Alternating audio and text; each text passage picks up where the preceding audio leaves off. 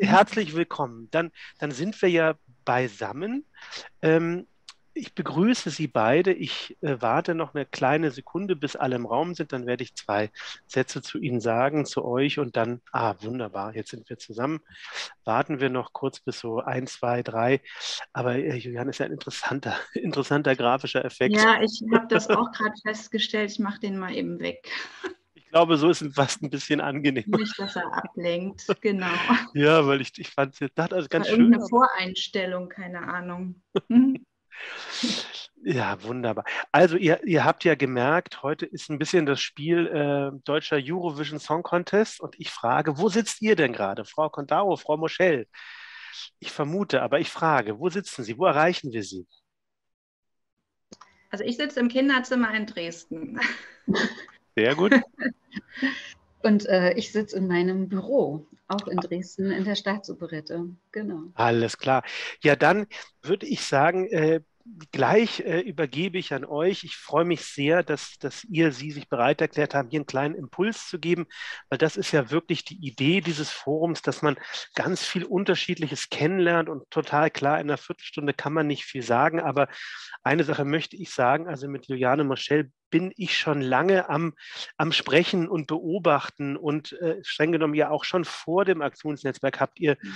bombastische Sachen gemacht, also nicht nur nicht nur davor, sondern ich habe ja immer mit großer Begeisterung nach Dresden geschaut. Wir haben uns, glaube ich, das erste Mal im Rahmen deiner Veranstaltungsreihe da kennengelernt, wo ich wirklich in, in, in heller Ehrfurcht äh, war, was du da alles zusammengebracht hattest und in welcher Breite du das Thema gesehen hattest. Hatten wir gestern kann man ja sagen, deinen Kollegen Achim Könnecke aus, aus eben Würzburg, der auch was ganz Spannendes macht. Und äh, aber ich finde das bei euch ja genauso beeindruckend. Ähm, insofern freue ich mich jetzt sehr auf eure Vorstellung von dem, was geht eigentlich in Dresden gerade. Also, Stage is yours. Viel Spaß. Gut, vielen Dank, Jakob. Und ich möchte eben noch auf Katrin Konda-Urow hinweisen. Ich bin sehr froh, dass wir das heute zusammengestalten, weil eben nicht nur die Perspektive der Kulturverwaltung hier in Dresden so bedeutend ist, sondern es geht um die Kultureinrichtungen. Und ähm, ich bin sehr froh, dass wir das heute zusammengestalten können. So, ich versuche mal hier meinen Bildschirm jetzt ähm, zu teilen. Ich habe eine kleine Präsentation, also wir haben eine kleine Präsentation vorbereitet und ähm, ich gucke mal, wie das jetzt hier geht. Also, ähm, wir beschäftigen uns mit Nachhaltigkeit schon seit mehreren Jahren im Rahmen ähm, der Kulturentwicklungsplanung hier in Dresden und ähm, haben auch äh, uns ja beworben als Kulturhauptstadt Europas 2025. Und ich möchte diese beiden Aspekte eben ganz kurz nennen, weil einerseits ähm, Nachhaltigkeit als ähm, Anliegen, als gesamtgesellschaftliche Herausforderung im Rahmen dieser Kulturentwicklungsplanung ähm, eingeflossen ist und andererseits auch von den Akteuren selbst, von den Bürgerinnen und Bürgern und von den Kulturakteuren im Rahmen der Bewerbung als Kulturhauptstadt Europas. Und diese beiden Einflüsse haben nun dazu geführt, dass wir einen Gesamtprozess im vergangenen Jahr äh, begonnen haben, der natürlich noch längst nicht abgeschlossen ist. Aber wir möchten uns euch heute die ersten Ergebnisse vorstellen. Ähm, Sieht man das jetzt, dass ich das Bild weiter äh, klicke? Ja, nächstes ja, Bild ist da. Wunderbar. Also wir verstehen Nachhaltigkeit eben als gesamtgesellschaftliche Herausforderung unter den drei Dimensionen Ökologie, Ökonomie und Soziales und haben sie auch immer unter diesen drei ähm, Dimensionen äh, betrachtet. Wir arbeiten im Verbund mit Politik, Forschung und Gesellschaft. Ähm, und versuchen hier eben Synergien und Kooperationen herzustellen. Insbesondere im Kunst- und Kulturbereich äh, streben wir einen Strukturwandel an. Dazu wird nachher auch Katrin Konda-Urow noch mehr sagen können. Die ästhetische Auseinandersetzung ist aber auch nicht zu unterschätzen und sollte in Zukunft dringend gefördert werden. Dazu hat ja auch Adrienne Göhler einen äh, Fonds für ästhetische Förderung vorgeschlagen, den ich für sehr wichtig erachte. Also wir beschäftigen uns eben im Rahmen der Kulturpolitik ähm, einmal mit dem, was war und was ist und mit dem, wohin wir in Zukunft wollen, mit der kulturellen Infrastruktur der Stadt Dresden jetzt hier insbesondere. Dazu ist es ganz notwendig, aus der Kulturverwaltung und Zusammenarbeit mit den Kulturpolitikern eben die Rahmenbedingungen zu gestalten und ähm, auch hier zu fördern. Ähm, wir haben festgestellt, dass eben die Datenerfassung noch in den Kinderschuhen steht. Das äh, wird ja nachher auch nochmal der Dr. Brünger von der Kulturstiftung des Bundes sagen, der mit seinem Pilotprojekt Klimabilanzierung in 19 Kultureinrichtungen natürlich exemplarisch dargestellt hat, welche Daten erfasst werden müssten und dass es auch darum gehen muss, zukünftig eine langfristige Datenerfassung herzustellen. Auch hiermit haben wir uns in der Kulturverwaltung in Zusammenarbeit mit den Kultureinrichtungen im Rahmen von Culture for Future intensiv beschäftigt. Chancen sehen wir natürlich insbesondere darin, ähm, auch überregional zusammenzuarbeiten. Ein äh, wichtiger Partner ist das Aktionsnetzwerk Nachhaltigkeit, aber auch die Kulturpolitische Gesellschaft und der Deutsche Kulturrat sind wichtige Ansprechpartner. Wir möchten aber auch darüber hinaus eben überregionale Netzwerke nutzen, zusammenarbeiten mit anderen Kultureinrichtungen, anderen Kommunen und ähm, auch äh, interdisziplinär arbeiten. Also hier schauen wir, dass wir ein Netzwerk erweitern, das wir im vergangenen Jahr aufgebaut haben. Ähm, zu Beginn unseres Prozesses haben wir uns erstmal ein Ziel gesetzt. Dieses Ziel haben wir zugegebenermaßen als Vision vorausgesetzt und wir möchten eben bis 2030 alle Dresdner Kultureinrichtungen, egal ob in städtischer Trägerschaft oder im Freistaat Sachsen, ähm, oder auch bei den freien Trägern möchten wir gerne, dass alle Kultureinrichtungen eine Nachhaltigkeitsstrategie ähm, entwickelt haben und auch die Maßnahmen in dieser Strategie umsetzen. Das ist quasi unsere Zielvorgabe im Rahmen der Kulturentwicklungsplanung. Hierzu haben wir dann eben einen Auftakt im vergangenen Jahr begonnen, Culture for Future als ähm, Projekttitel und haben angefangen mit fünf Dresdner Kultureinrichtungen gemeinsam mit Partnern Adelphi ähm, als Denkfabrik und dem Umweltzentrum Dresden ähm, diesen Prozess zu beginnen und zu starten. Als teilnehmende Einrichtungen haben wir ganz bewusst auf unterschiedliche Kultureinrichtungen uns fokussiert, damit wir auch zeigen können, inwiefern die unterschiedliche Arbeitsweise und die unterschiedlichen Strukturen Nachhaltigkeitsmaßnahmen entwickeln und auch implementieren können. Teilnehmend war eben die Staatsoperette Dresden als Musiktheater, die Dresdner Musikfestspiele als Festival, die städtische Bibliothek die Dresdner Philharmonie als Orchester und das Kunstgewerbemuseum der staatlichen Kunstsammlung in Dresden. Mit diesen haben wir dann einen gemeinsamen Transformationsprozess begonnen, der top-down und bottom-up, das ist ganz wichtig, also der akteursgetragen entwickelt wurde. Wir haben hier in diesem letzten Jahr ganz konkrete Nachhaltigkeitsmaßnahmen für die Einrichtungen entwickelt und haben somit geschaut, inwiefern man äh, langfristig Strategien entwickelt. So ungefähr hat der Prozess stattgefunden in verschiedenen Workshops. Ich gehe jetzt nicht näher darauf ein, ich stehe gern für Fragen im Anschluss noch bereit. Aber im Januar 2022, damit will ich jetzt auch meinen Teil beenden, haben wir es geschafft. Also die Akteure haben sich zum Ziel gesetzt, eine gemeinsame Charta zu entwickeln für Nachhaltigkeit im Kultursektor Dresden und haben diese Charta auch gemeinsam geschrieben.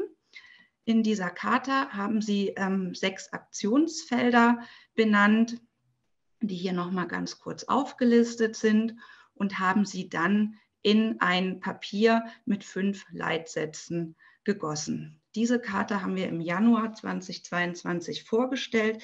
Die haben zwölf Kulturinstitutionen unterzeichnet und die nächsten zwölf werden wir jetzt Anfang März vorstellen, die diese Karte auch unterzeichnet haben. Die Staatsoperette Dresden ist als Erstunterzeichnerin mit dabei und deswegen leite ich jetzt über zu der Staatsoperette und der Intendantin Katrin Konda-Orow. Ja, vielen Dank, Juliane Moschel, für die Überleitung und ähm, auch für den ersten Einblick in unsere gemeinsame Arbeit an Culture for Future. In der Tat äh, ist das ein Prozess, der für ein großes äh, Musiktheater ähm, eine Bedeutung hat in einer Zeit, in der Nachhaltigkeit der aus der Gesellschaft gar nicht mehr wegzudenken ist aber auch in einer Zeit, wo, glaube ich, äh, trotzdem auch noch viele Fragezeichen mit dem großen Komplex Nachhaltigkeit verbunden sind. Ähm, denn das Wort ähm, oder dieser ganze Komplex greift ja in viele Aktionsfelder hinein. Und äh, diese gilt es dann natürlich für ein großes Musiktheater wie die Staatsoperette eines ist abzustecken und dann genau zu eruieren, in welchen Bereichen man kurzfristig, mittelfristig oder dann eben auch langfristig äh, nachhaltige Prozesse im Betrieb und auch für die künstlerische Arbeit implementieren kann. Äh, doch bevor ich auf die Details unserer Arbeit eingehe, unseres Nachhaltigkeitsprozesses, möchte ich kurz einige Worte zum Haus verlieren, weil dem einen oder anderen wir als Institution möglicherweise nicht bekannt sind. Die Staatsoperette ist ähm, tatsächlich die größte Kultureinrichtung der Stadt Dresden beziehungsweise das äh, größte Musiktheater neben den natürlich staatlichen Häusern Semperoper und äh, Staatsschauspiel. Ähm, es ist ein besonderer Betrieb insofern, als dass wir viele Sparten im Haus vereinen. Neben äh, Sänger, Solistinnen und Solisten ähm, ein Ballettensemble, ein Chor ähm, und auch ein großes Orchester. Mit ähm, all diesen Künstlerinnen und Künstlern bestreiten wir bis zu 180 Vorstellungen jährlich und haben natürlich ähm, angeschlossene Werkstätten, einen großen Technikbereich, ähm, eine Verwaltung, ähm, sodass wir äh, insgesamt auf bis zu 270 Mitarbeiterinnen und Mitarbeitern im Betrieb kommen, die eben aus den verschiedenen Bereichen mit ihrer eigenen Perspektive immer hineinblicken. Ähm, das, äh, die Staatsoperette Dresden ist ähm, natürlich insofern interessant, auch ähm, äh, aus dem Blickwinkel eines Musiktheaters, äh, sich mit diesem Thema Nachhaltigkeit zu befassen, aber auch aufgrund der Historie. Da ähm, wir als Institution 2016 das Glück hatten, in einen Neubau einzuziehen und ähm, auch dieser Neubau bringt bereits Parameter mit, die dafür prädestiniert sind, ähm, auch hier am Standort über Nachhaltigkeitsprozesse nachzudenken. Und das betrifft vorrangig Baumaßnahmen oder bauliche Komplexe, die bereits hier am Haus äh, stattgefunden haben äh, in der Konzeption dieses Neubaus. Unter anderem verfügen wir bereits über eine Photovoltaikanlage. Ähm, auch das Thema Bühnenbienen ähm, wurde hier verfolgt. Also wir haben Bienenstöcke, die äh, sich hier auf dem Gelände befinden, mit denen wir dann den eigenen Bühnenhonig nach außen transportieren können. Äh, natürlich ist auch das Thema Energieeffizienz ähm, äh, eines, was uns beschäftigt, sodass Leuchtmittel im Haus ähm, auf LED-Mittel umgestellt wurden. E-Transporter verwenden wir und auch mit Blick auf ähm, unsere Besucherinnen und Besucher sind bereits Tickets des öffentlichen Nahverkehrs mit in unseren ähm, Preisen, äh, Ticketpreisen ähm, mit integriert. Also das sind so Hard Facts, die wir eigentlich schon von vornherein mitgebracht haben, ähm, bevor wir in den Prozess Culture for Future gestartet sind. Das Konzept äh, oder dieses Projekt beschäftigt uns jetzt seit einem knappen Jahr. Wir sind im Frühjahr 2021 gestartet und ähm, haben tatsächlich äh, begonnen von der Pike auf, also von ähm, jedem Mitarbeitenden ausgedacht, äh, in dieses Projekt einzuladen, sodass wir wirklich äh, in der glücklichen Lage waren, aus den verschiedenen Arbeitsbereichen, sei es aus der Technik, aus den Werkstätten, aus dem Verwaltungsbereich, aber natürlich ähm, äh, aus den Kreisen der künstlerisch Beschäftigten, eine sehr heterogene, bunte Gruppe zusammenzustellen, die sich eben gemeinsam zur Aufgabe gemacht hat, ähm, sich dem Thema Nachhaltigkeit zu widmen. Ähm, aus dieser großen heterogenen Gruppe sind verschiedene Arbeitsgruppen entstanden, die sich dann mit äh, bestimmten Spezifika dieses Komplexes befasst haben. Ähm, ein Thema ist zum Beispiel äh, Mobilität, äh, Ressourcenbeschaffung ähm, oder Management waren ein Themenkomplex, aber natürlich auch das Thema der sozialen Nachhaltigkeit beschäftigt in einem so großen Betrieb wie dem unseren wo es um ähm, Optimierung von Kommunikationsprozessen geht oder auch Transparenz äh, von Prozessen etc. pp. Aus diesen Arbeitsgruppen heraus konnten wir äh, schon ziemlich spektakulär, muss ich sagen, oder auch professionell ähm, Umfragen ableiten, ähm, sodass wir zum Thema Mobilität und eben auch Ressourcenbeschaffung und Verwendung und auch Entsorgung, das ja auch äh, im Theaterbereich, wenn Sie an ähm, beispielsweise die Werkstätten denken, Malsaal, die ähm, mit Farben arbeiten, die dann im, im Prinzip ja auch äh, ökologisch ähm, gut abgebaut oder entsorgt werden müssen. Also, dass wir sozusagen in diesen Bereichen weiter geforscht haben, um uns dann äh, aus den Umfragen heraus ähm, Maßnahmen aufzuerlegen oder eben auch zu entwickeln. Und äh, wir sind momentan ähm, an dem Punkt, mit diesen Maßnahmenkatalogen umzugehen und äh, tatsächlich auch die ersten Punkte ähm, umzusetzen.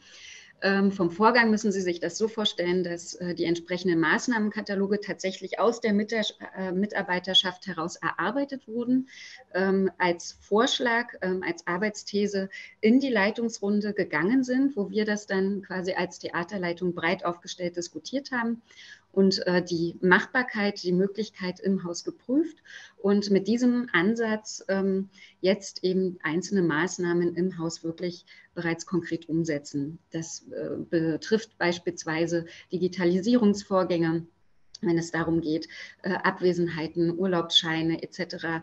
Ähm, äh, auf den digitalen Weg zu konzentrieren, Bestellvorgänge auch äh, vorrangig digital auch absegnen zu lassen, wenn es um kaufmännische Prozesse geht und so weiter. Ähm, also insofern ist das momentan schon ein, ein, ein glücklicher Umstand, der uns da beschäftigt, dass wir tatsächlich schon konkret mit Maßnahmen umgehen können. Denn das ist natürlich auch die Herausforderung dieses gesamten Prozesses mit dieser Charta, ähm, die Sie vorhin kurz stichpunktartig äh, sehen konnten, äh, geben wir uns natürlich erstmal einen großen Rahmen, wo wir äh, mit großen Schlagworten umgehen, also mit der Tatsache, dass wir uns der Nachhaltigkeit annehmen, dass wir diesen Prozess im Haus implementieren wollen. Und mit diesen konkreten Maßnahmen sind wir nun wirklich dabei, das auch zu tun. Aber neben einer, sage ich mal, jetzt so konkreten Umsetzung wie äh, digitalen Vorgängen ist es natürlich auch wichtig, immer die gesamte Mitarbeiterschaft mitzunehmen. Also auch hier haben wir doch auch mit ähm, Aufklärungsarbeit und Überzeugungsarbeit zu tun. Was bedeutet Nachhaltigkeit in einem Betrieb? Das betrifft natürlich ähm, auch die Situation in der Kantine, der Essensversorgung. Hier sind wir in der glücklichen Situation, einen externen Partner ähm, mit im Boot zu haben, der sich äh, diesem Prozess auch sehr öffnet und ähm, hier auch schon regional und ähm, auch biologisch, ähm, uns biologisch äh, bekocht quasi. Ähm, und so sind verschiedene Prozesse im Haus einfach schon in Gang gesetzt und angestoßen. Nichtsdestotrotz äh, ist natürlich ein Umstand, der vor allem mich auch als Intendantin beschäftigt, die Frage, wie gehen wir mit dem Thema der Kunstfreiheit um?